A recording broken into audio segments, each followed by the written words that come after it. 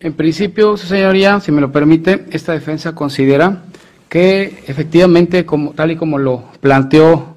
de manera abundante, eh, efectivamente puede parecer que existen eh, demasiados o suficientes datos de prueba. Sin embargo, eh, derivado de las precisiones que a continuación me dispongo a hacer, esta defensa considera que no se debe de vincular a proceso a nuestro representado en las siguientes virtudes, su señoría, si me lo permite. Ahora bien, eh, en principio estamos hablando del delito de abuso de autoridad, como todos ya bien conocemos. Efectivamente, previsto en el artículo 400, 420, fracción 12, perdón, fracción 12. Y bueno, nos, el, el supuesto hipotético normativo nos habla de aprovechar el poder, empleo o el cargo para satisfacer de manera ilegal algún interés propio. Y efectivamente eh, de los datos de prueba expuestos no se puede advertir que haya satisfecho nuestro, nuestro representado ningún interés propio. Ahora bien, nos, nos parece pertinente eh, abundar un poco respecto a los datos de prueba, eh, específicamente hablando de las recetas que, como ya bien expusieron, efectivamente no están signadas, no están firmadas por, por, por nuestro representado, y de manera adicional se ha dicho que esto acredita que pues únicamente se, solicitaron los medicamentos, pero esta defensa considera que este dato de prueba debe operar en nuestro favor por la siguiente exposición. Eh, es eh, de explorado derecho que existe una norma oficial mexicana, la norma oficial mexicana 004 SSA3 del 2012. Eh, esta norma, su ratio legis, el legislador pensó desde su eh, creación que tuviera un fin estadístico, un fin científico, pero también un fin jurídico. Y es la norma que maneja, que regula, perdón, el, manejo del expediente clínico. En su objetivo, dice que tiene como objetivo el poder regular los hechos eh, que suceden durante el transcurso de la atención médica. Y en su campo de aplicación dice, la presente norma es de observancia obligatoria en todo el territorio nacional, en los ámbitos público, social y privado, lo cual, este, obviamente, obviamente, claramente, obliga al personal de salud a observarla. Y dentro de su desarrollo denomina en su numeral 4.4 eh, al expediente clínico como el conjunto único de información y datos personales de un paciente que se integra dentro de todo tipo de establecimiento para la atención médica, ya sea público, social o privado, el cual consta de documentos escritos, gráficos, imagenológicos, electromagnéticos, magnetópticos, etcétera. Y dice, y de cualquier otra índole. Es necesario hacer notar, su señoría, que en el ISTECH, de acuerdo a la Ley General del ISTECH, eh, se establecen protocolos. De manera adicional, eh, existen algo denominado bitácoras, correlacionado con los otros documentos. Es en las bitácoras eh, que se lleva a cabo la solicitud de los medicamentos. Esto no es nuevo, esto siempre ha sido así en el ISTECH, lo cual ha pasado desapercibido en la, en la exposición de la representación social. ¿Por qué comento que esta, este dato de prueba debe, debe, operar en nuestro favor? Porque lo único que prueba las 10 recetas asignadas por diversos facultativos ajenos a nuestro imputado es el hecho de que no había medicamentos porque las recetas únicamente se hacen cuando el medicamento no se cuenta con él. Cuando se cuenta con él en principio, se documenta en esa bitácora, ¿sí? No se hacen recetas. Ahora bien, eh, nos deja en estado de indefensión el hecho de no contar en esta carpeta de investigación con el expediente clínico del paciente en comento, que si bien es cierto, no nos encontramos aquí dilucidando una controversia meramente derivada de la atención médica de fondo, no estamos hablando de si lo que se le hizo o no se le hizo fue lo adecuado en términos de la Lex Artis, sí en los hechos se dilucida que si las dosis fueron las adecuadas, que si fueron más altas o más bajas, y el, el, el génesis, la, la, la litis de este asunto es si los medicamentos que se le solicitaron fueron utilizados o no en el paciente y en uno de los puntos muy importante, considero, se hace mención de que las bombas de infusión estaban funcionando a la mitad, lo cual es cierto. todas las bombas de infusión estaban funcionando a la mitad por una razón, porque eran tan insuficientes que tenían que funcionar a la mitad. Los, la parte de los medicamentos que aparentemente falta y que se le atribuye a mi representado haber utilizado de manera ilegal para beneficiarse, está en este documento que nos causa indefensión que no se encuentra acá, el expediente clínico, dado que en el numeral 5.10 de la NOM 004 SSA3 del 2012 a la cual me vengo refiriendo, dice, todas las notas deberán tener fecha, hora, firma de quien lo elabora y en esas notas, ah, no, perdón, en el, adicionalmente a este, en el numeral 9.1, el cual se refiere a la hoja de enfermería, dice que tiene que elaborarlo el personal en turno y ahí mismo se habla de que tienen que tener una frecuencia. Ahí se, consignan qué cantidades de medicamentos se ponen a los pacientes. Esta parte del medicamento que no estaba en las bombas de infusión eh, estaba consignado en estas notas del expediente clínico y tiene que estarlo forzosamente. Eh, no contamos con él, sin embargo, se aplican cuando no está en la bomba de infusión, se aplican en esta etapa del COVID de forma subdérmica, de forma intramuscular o de, forma intravenosa se consigna en el expediente. Esto nos causa obvia y claramente indefensión. De manera adicional a la petición de que estas 10 recetas acrediten que no,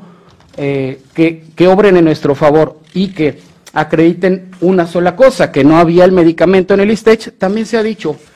que efectivamente ellos, eh, la, representación social en una de las lecturas que dio de las notas, a los cuales para no engrosar mi, exposición no me voy a referir de manera específica, pero dice que se trata de un tipo de paciente, el tipo de paciente es el paciente 99. Este concepto, el, el número 99 en un paciente, de acuerdo con la Ley General del ISTE, es un concepto, su señoría, de un paciente privado. Es decir, que la Ley General del ISTE ya contempla que se puede atender un paciente privado en el ISTE. ¿Cómo? No, no, se tiene que considerar, perdón, se tiene que considerar privado porque al no ser derecho habiente no les vincula una relación eh, como funcionario público. Tan es así que al día de hoy en, en, en el ISTECH se ven pacientes privados. Y esto no es de forma ilegal, es un concepto legalmente contemplado en la Ley General del ISTE y es un concepto que se ejecuta día a día de forma legal. Esto no quiere decir que estamos aceptando que nuestro representado atendió de manera personal ni de manera privada al, al padre de la hoy querellante o de la hoy denunciante. Al denunciante. Al contrario, no existe ningún dato de prueba que acredite como falsamente comentó la representación social, perdón, fue el asesor jurídico quien comentó que existen datos de prueba que acreditan que lo atendió mi representado. En efecto, no hay una sola nota médica, no hay nada salvo las testimoniales a las cuales me referiré un poco más adelante, que, acredite realmente que mi representado lo atendió eh, de manera personal como médico. Lo cierto es que está su dicho pero eh, de ninguna manera debe suponerse, ni puede suponerse que esto acredite que lo atendió como tal, de forma personal. Ahora bien, es importante también eh, que, mencionar que también hablaron de la trombólisis. Eh, la creyente o la denunciante se duele de que solamente una, sola vez se le hizo la trombólisis, lo cual es falso, se le hizo tres veces y las otras dos veces no están reconocidas por ella, pero sí hay un documento idóneo que la Fiscalía debió de haber a llegar a usted, su señoría, para efecto de que pudiera tener los medios idóneos de decidir si se puede o no vincular o se debe o no vincular al proceso a mi representado en virtud de estos documentos que están en el derecho positivo mexicano y que son eh, datos de prueba idóneos para saber si, si se le hizo una trombólisis, dos trombólisis, para saber si en efecto las bombas de infusión estaban o no funcionando a la mitad de su capacidad y si además o no se le... Em, se le aplicaron medicamentos subdérmicos intravenosos o intramusculares al referido paciente. Ahora bien, de manera adicional, eh, se vino mencionando durante la exposición de la Fiscalía tan abundante eh, los, medicamentos vancomiana, midazolam y nalbucina. los cuales de manera errónea se mencionan así, y lo, por, lo, ¿por qué lo comento? Lo hago con mucho respeto, porque son vancomicina, midazolam y nalbufina. ¿Qué quiere decir? Estamos dilucidando de manera adicional a lo que expuse del expediente clínico hechos de difícil dilucidación porque son hechos médicos. Luego entonces la prueba reina madre de, estas pruebas o de datos de prueba es la prueba pericial. Existe la herramienta jurídica de una prueba pericial en materia eh, de medicina legal y forense para que nos diga el experto, quien además debe contar con certificación del Consejo Mexicano de Medicina Legal y Forense, eh, nos diga, nos oriente, oriente a su señoría, no a nosotros, por supuesto, le ayude a llegarse a la realidad jurídica de estos hechos y nos digas cómo funciona el protocolo hospitalario, cómo debe funcionar, si o no se deben de contar con medicamentos, etcétera. De forma muy eh, gravemente adicional, eh, es importante mencionar el hecho de que no tenemos el expediente clínico, pero el diverso dato de prueba de las testimoniales a las cuales se venían refiriendo, es decir, tenemos la declaración de la, de la denunciante, de la, de, la, de la creyente, y tenemos dos pruebas testimoniales a las cuales debemos referirnos en un sentido y para cuál opera eh, la, la jurisprudencia con número de registro 2009953, su señoría, y que eh, se llama prueba testimonial en materia penal, su apreciación. Para resumir, dice que cuando las pruebas son de apreciación idéntica, lo cual acontece en especie, por eso es que vivimos casi un déjà vu en la, en la muy buena, por cierto, exposición de, de la representación social, porque son copy-paste, son una copia y un pegado idéntico, lo cual, su señoría, si usted así lo considerase, debe tomarse en cuenta a efecto de que no tenga validez ya que no carece de los requisitos en cuanto a la validez y a la eficacia probatoria que, deben orientar su eh, decisión, su señoría, en cuanto a la vinculación a proceso de nuestro representado, su señoría. De forma adicional,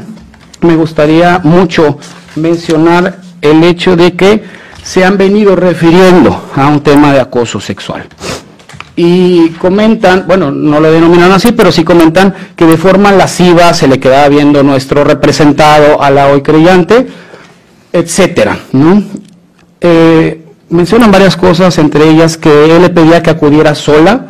lo cual no es nada raro en la pandemia. De hecho, institucionalmente, si así fuese acreditado, lo cual no es así, eh, pues eh, violenta o viola la sana distancia, el hecho de que ella acudiera con más gente, lo cual sí aconteció en, diferentes ocasiones. Tan es así que eh, en un diverso dato que existe en el expediente con el cual no contamos, ella misma le solicita a mi representado que se comunique telefónicamente con un hematólogo de la Ciudad de México, a lo cual nuestro representado se niega. Y esa nota de la valoración del hematólogo que emitió una receta se encuentra en el expediente clínico del LISTECH, con la cual no contamos, aduciendo al tema de la lascividad con la que le veía, etcétera, pues son meras apreciaciones subjetivas derivadas de una declaración, lo cual entiendo que usted no puede emitir, pero cierto es que omite la Fiscalía solicitar datos de prueba pertinentes tendientes a llegarle a usted de mayor información. Entiendo que estamos en la fase inicial del proceso, entiendo que la investigación complementaria eh, habrá la oportunidad, si así usted lo considerase, de hacerlo y si es que se vincula al proceso, esperando que no. Sin embargo, nos causa indefensión que tengamos a nuestro representado en este momento privado de su libertad, puesto a disposición de, de su señoría, con unos datos tan endebles, tan vanos, tan subjetivos, y de manera adicional eh, no aporta la representación social teniendo la facultad y la obligación de hacerlo, su señoría, ninguna conversación de WhatsApp ellos tenían la oportunidad de habérsela solicitado a la creyente, lo cual no está en esta carpeta, su señoría. Nosotros, obviamente, claramente no podemos acceder a ella. Sin embargo, sí sabemos y manifestamos en este momento, por el corto tiempo que hemos tenido al, haber sido nombrados eh, en esta audiencia, y apenas, pero sí sabemos que hay eh, evidencia electromagnética, evidencia electrónica en la conversación del WhatsApp de nuestro representado, en donde la hoy creyente comenta cosas como que ella está mal con su esposo, comenta cosas que, que pueden ser accesadas para este juzgado. El punto es que no está aquí ahora para su dilucidación. Y lo cierto es que también contamos con una llamada grabada en donde la hoy creyente comenta que es un ángel en su vida a esta persona a la cual se ha venido refiriendo como un ser lascivo, ¿no? Eh, de manera adicional en los mensajes comenta que qué bueno que, que el doctor está ahí, eh, comentarios respecto a su vida personal con su esposo y todo esto existe. Para no especular, señoría, el punto objetivo es que no contamos con esto y nos causa, sentimos indefensión que se le acuse eh, por la, representación social sin tener esto aquí, teniendo ellos la facultad de solicitarlo, teniendo ellos la facultad y la obligación en el ejercicio de, agotar la investigación, pues de solicitarlo. No quisiera eh, ser muy reiterativo. Ahora, no sé si...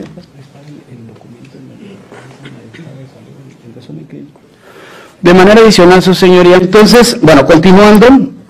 existe el protocolo para la documentación de, la, de, los hechos en materia, en materia de medicina. Es decir, ahí debe consignarse si se puso o no el medicamento y eso es lo que podría eh, acreditar si nuestro representado los usó para una cosa diversa o no los usó para una cosa diversa, de manera eh, que le pido, le solicito a su señoría en cuanto a mi exposición es cuanto le solicito si le permite el uso